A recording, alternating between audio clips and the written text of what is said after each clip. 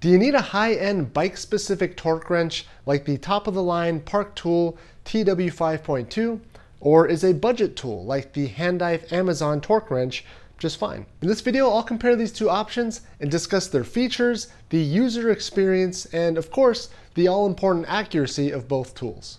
Now, if you have a bike with even remotely performance-oriented components, a torque wrench is an absolutely essential tool to ensure that all your bolts are tightened to the proper torque specification. Now, certainly this is critical with carbon fiber components, but even alloy parts these days are highly engineered and they all come with a prescribed torque specification to avoid damage to the component. Now, the generally accepted narrative is to not cheap out when it comes to tools, especially precision tools like a torque wrench. However, when this Handife quarter inch drive torque wrench was sent to the channel for review, I was actually pretty intrigued as the reviews are really good and despite a price tag of just about $35 US, it offers pretty much everything you'd want in a torque wrench designed for home bike repair. Now, just to be clear, while the tool was sent to the channel at no charge, all thoughts and opinions of this tool are my own. So what's the difference between a budget-friendly torque wrench and a top-shelf torque wrench really? Are you merely paying for brand recognition with the Park tool, or is there something fundamentally flawed with the budget option? Well, I'd say the only logical thing to do is to break this comparison down into three categories. The features of each wrench, the user experience of each wrench, and of course the critical accuracy of each tool. So starting with the features, the Park Tool TW5.2 employs a 3 8 inch drive with a torque range of 2 to 14 newton meters, which will cover a good proportion of all bike related work, and is really only insufficient for things like crank arm bolts and bottom brackets that do require much higher torques. It's got tightly spaced ratcheting action, so it'll be able to ratchet even in tight spots, which is always a good thing. Now the plastic handle is ergonomic and it feels good in the hand and the torque is clearly displayed through a transparent, easy to read window. The budget Handife tool on the other hand employs a slightly smaller quarter inch drive yet spans a larger range of torques from 5 to 25 newton meters, which is biased a little bit higher than the Park tool. The knurled metal handle is pretty typical for a wrench at this price point, and it's functional. Now, there is a little bit of a trade-off happening here because the Park tool is capable of torque starting at 2 newton meters, and while the 5 newton meter minimum of the Handife tool seems pretty close,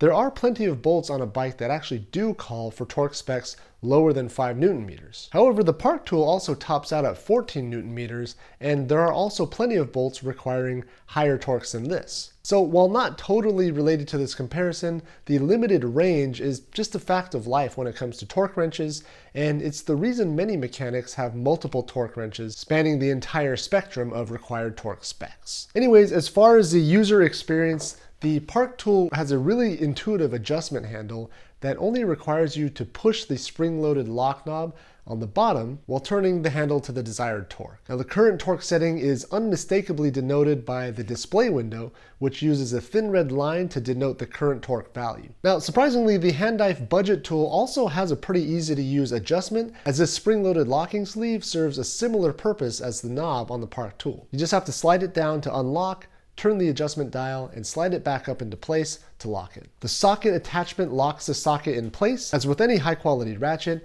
and the release button is crisp and effective on both the top shelf model and the budget option. Now I will say this about the Handife budget tool. The torque values, which are printed on the side of the handle, require you to follow a little line and match it up with the edge of the rotation handle to set the torque. Now this is pretty common on more budget-oriented tools. Now further, all of the intermediate markings are denoted in inch pounds, so really if you want a specific newton meter specification, which is commonly specified by bike component manufacturers, it actually makes more sense to first convert the newton meter value to a corresponding inch pound value and then set the budget torque wrench to that value, which itself can take a bit of head scratching and some mental math. Now I guess what I'm trying to say is that it would be nice if the scale on the budget offering was biased towards reading in newton meters rather than inch pounds. But this is admittedly a pretty bike specific request and it does have a newton meter scale on the back. It's just that the incremental tick marks are specified in inch pounds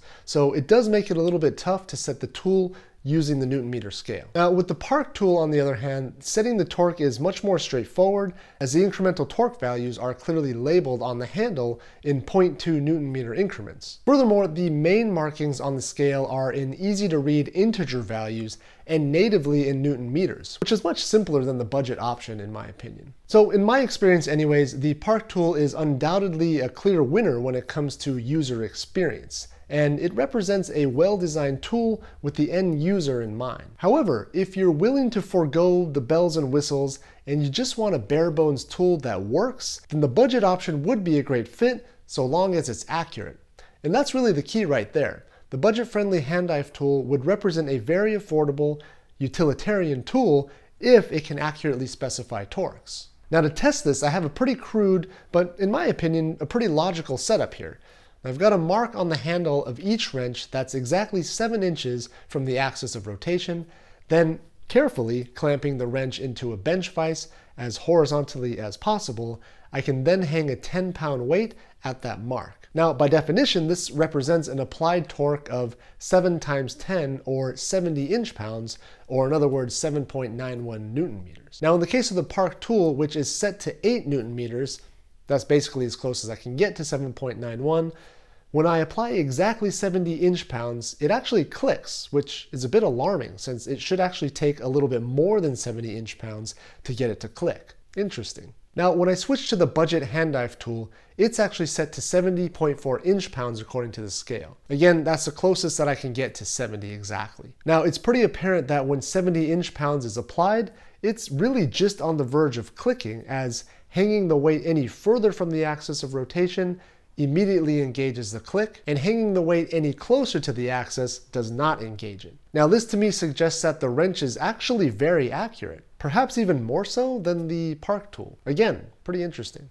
Now obviously this experiment isn't meant to provide definitive calibration information about these tools, but it certainly offers a glimpse into the relative accuracy of each. In fact, before this I had never actually performed any type of testing like this, and I always kind of just assumed that I was getting good measurements from my torque wrenches. So it is nice to see that both of these tools are giving me pretty accurate readings, and I'm actually quite surprised that the more expensive Park tool is the one that's giving me questionable measurements. In any case, there you have it, a semi-in-depth discussion on a budget versus top-end torque wrench for bikes. So what did we learn? Well, as far as accuracy goes, both are pretty spot on, with the budget tool surprisingly edging out over its higher end counterpart just slightly. However, as far as the user experience, I have to give it to the Park tool. The more natural scale and the intuitive display make it really easy to set the torque, and it really leaves the guesswork out of getting it set up right the first time. Now the budget Handife tool does take more mental math to get the torque value set up,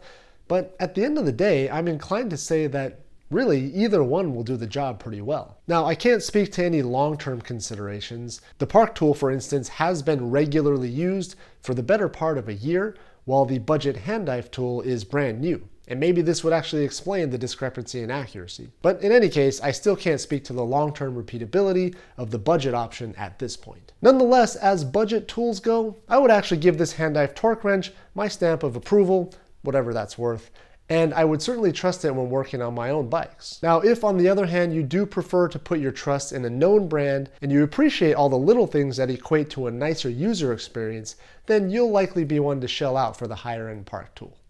Okay, well that's going to wrap it up for this one. I hope you enjoyed the video, and I hope you enjoyed learning something about torque wrenches. As always, thanks for watching, and thanks again for subscribing if you haven't already, and I'll see you next time.